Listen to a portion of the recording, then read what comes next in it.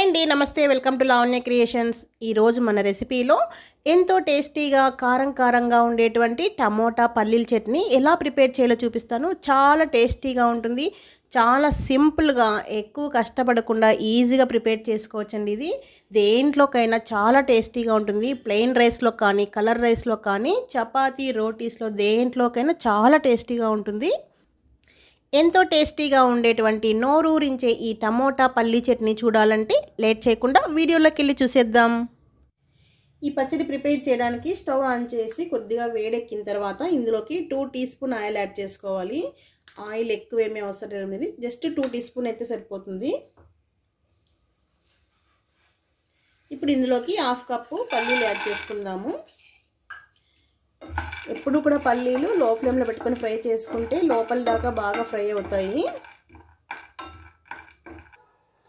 పల్లీలు ఫ్రై అయిపోయినాయండి. మరీ ఎక్కువ నల్లగా ఫ్రై చేసుకోకూడదు. ఇలా ఫ్రై అయిన తర్వాత ఇందులోకి మీరు తినేటువంటి కారాన్ని బట్టి పచ్చిమిర్చి యాడ్ చేసుకోండి. నేనైతే ఇక్కడ ఒక ఎనిమిది దాకా యాడ్ చేసుకున్నాను. బాగా కారం ఉన్నాయి ఇవి. వీటిని కూడా ఫ్రై చేసుకోవాలి.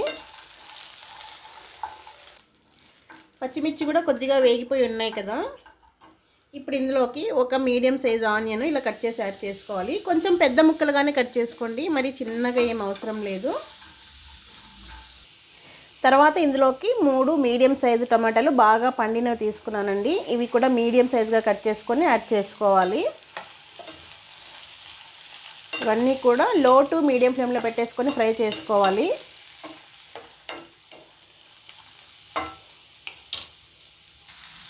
మూత పెట్టేసుకొని మగ్గించుకున్నారంటే మనకి కింద అడుగంటకుండా ఉంటాయండి ఎప్పుడు కూడా. మధ్య మధ్యలో కలుపుతూ ఉండాలి అడుగంటకుండా. అలా అయితే మనకి టమోటాలు అన్నీ కూడా బాగా సాఫ్ట్గా అయిపోతాయి. చూద్దామండి టమోటాలు ఎంతవరకు మగ్గిపోయి ఉన్నాయో. చూసి చూస్తుంటేనే కనిపిస్తుంది కదా టమోటాలు అంతా కూడా మెత్తబడిపోయినట్లు. మనకి ఇలా ఒకటి కట్ చేస్తే అర్థమైపోతుంది. చూసారా? టమోటాలు బాగా మెత్తబడిపోయి ఉన్నాయి. ఇలా టమోటాలు బాగా మెత్తబడిన తర్వాత ఇందులోకి వెల్లుల్లి యాడ్ చేసుకుందాము. వెల్లుల్లి ఇష్టం లేని వాళ్ళు స్కిప్ చేసుకోవచ్చండి. కానీ వెల్లుల్లి యాడ్ చేసుకుంటేనే పచ్చళ్ళు చాలా టేస్టీగా ఉంటాయి. నేనైతే కొంచెం ఎక్కువగానే యాడ్ చేసుకుంటాను. ఒక పాయ మొత్తం వేసుకున్నాను. మీరు ఇన్ని వద్దు అంటే కూడా తగ్గించి యాడ్ చేసుకోవచ్చు. అలాగే ఇందులోకి సన్నగా కట్ చేసుకున్న కొత్తిమీర కొద్దిగా కరివేపాకు కూడా యాడ్ చేసుకుందాము. పిల్లలు కూరల్లో వేస్తే కరివేపాకు తిన్నారు కదండి. ఇలాంటి పచ్చళ్ళల్లో వేసుకున్నారనుకోండి గ్రైండ్ అయిపోతుంది కాబట్టి ఆటోమేటిక్గా తింటారు. వాళ్ళు ఇంకా వేరేయడానికి కూడా వీలుండదు. పిల్లలు మీరు తినట్లేదు కరివేపాకు కొత్తిమీర అంటే ఇలా వేసేసేయండి. ఇప్పుడు మళ్ళీ మూత పెట్టేసుకొని ఒక్క నిమిషం పాటు మగ్గించుకుంటే సరిపోతుంది. చూద్దామండి ఇప్పుడు. చూసారా? కొత్తిమీర అంతా కూడా మగ్గిపోయింది. మరీ ఎక్కువగా ఫ్రై అవ్వాల్సిన పని లేదండి. ఇలా ఉంటేనే ఫ్లేవర్ చాలా బాగుంటుంది.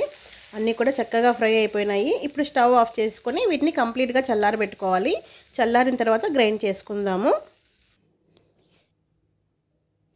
ఇప్పుడు ఇవన్నీ చల్లారిపోయాయి. మీరు ఇక్కడ ఒకటి గమనించారా? పల్లీలు ఫస్ట్ మనము ఆయిల్లో ఫ్రై చేసాము. తర్వాత వచ్చేసి టమోటా ఆనియన్స్తో ఉడికాయండి. ఆ టమోటా పులుపు రసంలో ఉడకడం వల్ల ఈ చట్నీ టేస్ట్ అనేది డిఫరెంట్గా చాలా టేస్టీగా ఉంటుంది. ఫస్ట్ అందుకే మీరు ఆయిల్లో ఫ్రై చేసి తర్వాత ఇలా ఆనియన్స్ టమోటాలు వేసుకున్నారనుకోండి టేస్ట్ చాలా బాగుంటుంది.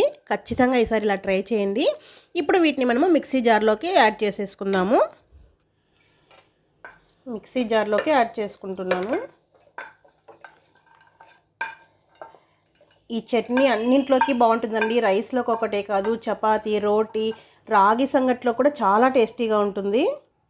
ఇప్పుడు ఇందులోకి టేస్ట్కి తగినంత సాల్ట్ యాడ్ చేసుకుందాము. నేనైతే ఇక్కడ కల్లుప్పు యాడ్ చేసుకుంటున్నాను. ఏదైనా యాడ్ చేసుకోండి.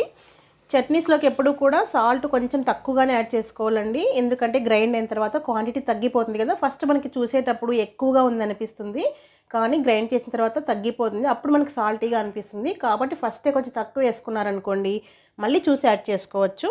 ఇప్పుడు వీటిని గ్రైండ్ చేసుకుందాము. ఈ చట్నీ ఫుల్ పేస్ట్ లాగా గ్రైండ్ చేసుకోకుండా కచ్చా పచ్చగా గ్రైండ్ చేసుకోవాలి. ఆన్ చేస్తూ ఆఫ్ చేస్తూ మిక్సీ గ్రైండ్ చేసుకున్నారంటే చట్నీ కరెక్ట్గా వస్తుంది. చూసారండి? ఇలా కచ్చా పచ్చగా గ్రైండ్ చేసుకుంటే చట్నీ రైస్లో తినేటప్పుడు చాలా టేస్టీగా ఉంటుంది.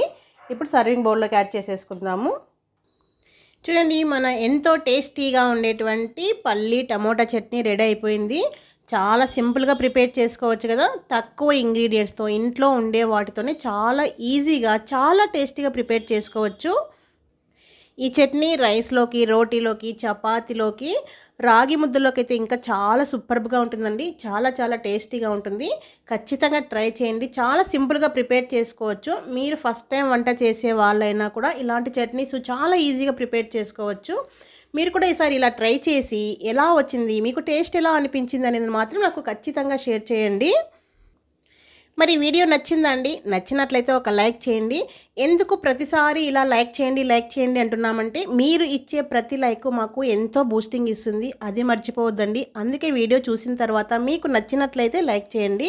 మీరు ఈ వీడియో ఫస్ట్ టైం చూస్తున్నట్లయితే ఖచ్చితంగా సబ్స్క్రైబ్ చేసుకొని పక్కనే ఉన్నటువంటి బెల్ సింబల్ యాక్టివేట్ చేసుకున్నారంటే నేను వీడియో అప్లోడ్ చేయగానే మీకు నోటిఫికేషన్ వచ్చేస్తుంది. ఇంకొక మంచి టేస్టీ అండ్ హెల్దీ యూజ్ఫుల్ వీడియోతో మళ్ళీ మీ ముందు ఉంటాను thank you for the watching.